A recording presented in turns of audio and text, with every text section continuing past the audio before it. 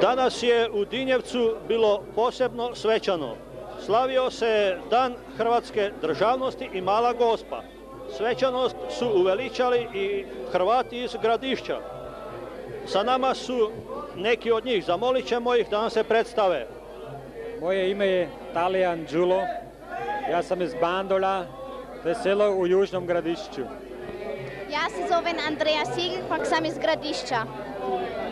Recite nam kako se osjećate ponovo ovdje u Hrvatskoj, u zemlji svojih predaka.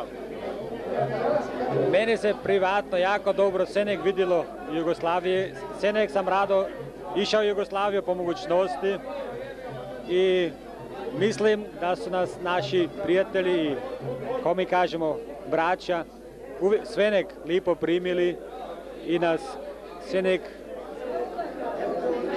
rado vidjeli, mislim, ovdje u Jugoslaviji. Da li ste često puta bili u Hrvatskoj? Da li ste više puta bili u Hrvatskoj ili vam je ovo prvi put? Ja sam prvi put na ovom kraju Jugoslavije.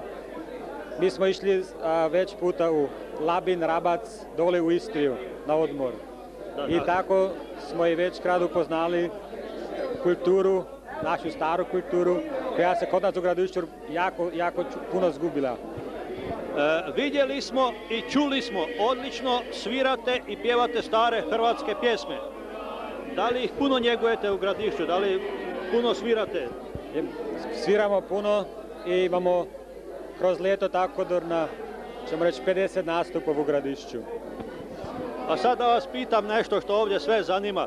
Da li je velika razlika u životu u Austriji i ovdje u Hrvatskoj? Ko vas pogledam kako vi sve čujete, to, su, to smo mi i naši oci su to zabili. Da Hrvat tako lipo i veselo zna svečevat.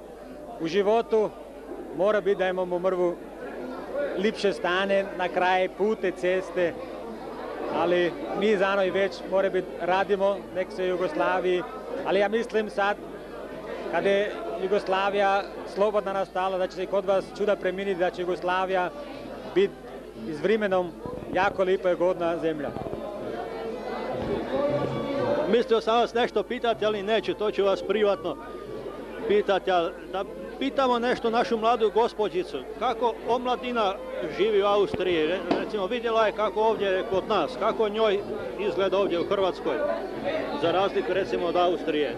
Tam, kakva je, kakva je razlika? Od kako mladine. omladina živi, da. Da nam ona možda to kaže, da ju vi Kako mladina živi u Austriji pa kako bolje. Razlika.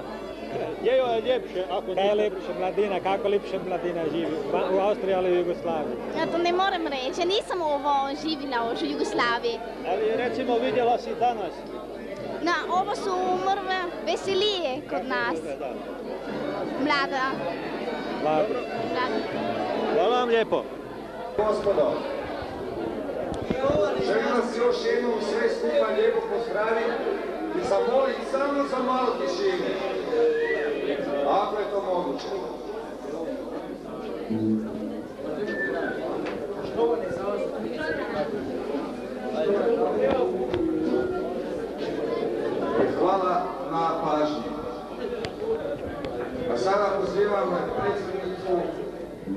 Kulturno-umjetničkog društva Petar Peralić iz Grabovnice da im uručimo ovaj skroman poklon.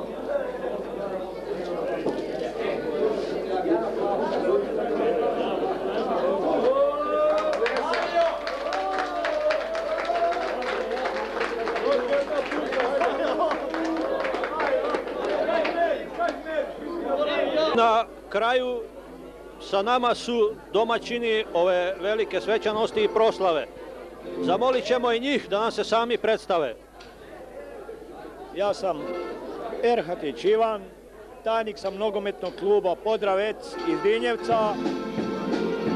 Od čije inicijative svega do ovoga je došlo. Naime, nogometni klub Podravec iz Dinjevca osnovan je sa mišlju, osnovnom mišlju druženja i kako u razvijanju sportske kulture, tako i kulturne. Ovo je već treća godina u kojoj se sastajemo sa nama, dragim prijateljima iz pokrajine Burgelanda, srca Gradišća. Ovi susreti, svaki, svaki susret za sebe je sve masovniji. Nadam se da će budući doći još i dalje. Ovaj puta u ovoj organizaciji ovih susreta koja je organizirana u sklopu Dana Hrvatske državnosti općine Đurđevac pozvano je kulturno-umjetničko društvo, odnosno tamburaška sekcija iz Burgelanda koja danas nastupa kod nas u našem mjestu, a sutra isto u sklopu Dana Hrvatske državnosti ima udarnu špicu na Picokijadi u Đurđevcu. Šta da kažem? Ja mislim, mi smo oduševljeni sa ovim svime. Uspjeli smo izazvati pozornost naših mještana i po masovnosti ja mislim da ovo prevazišlo sve dosadašnje susrete, da je čitavo mjesto bilo aktivirano tu. Nadam se da će biti još dalje. Ako Đurđevac organizira Picokijadu, ja mislim nadam se sa pravom da Dinjevac je danas organizarao Dinjevčijadu. Ja bi sada imao samo toliko. Hvala. Hvala. Ja sam Dragoš Ostarec, predsjednik mjesne zajednice Dinjevac. Ovim putem želio bi se zahvaliti svim umjetničkim društvima, kao što je Pitomače iz Pitomače, kulturno-umjetničkom društvu Petar Peralić iz Grabovnice, zatim našim velikim prijateljima iz Burgelanda, Gračanska Hrvatima iz Cuerbaha. Zatim kulturno-umjetničkom društvu Kloštar Podravski. Svi im zahvaljujemo na ovom prvom učestvovanju ove fešte koja je priređena u Dinjevcu, a koja neće biti zadnja. Uz najljepše svima hvala.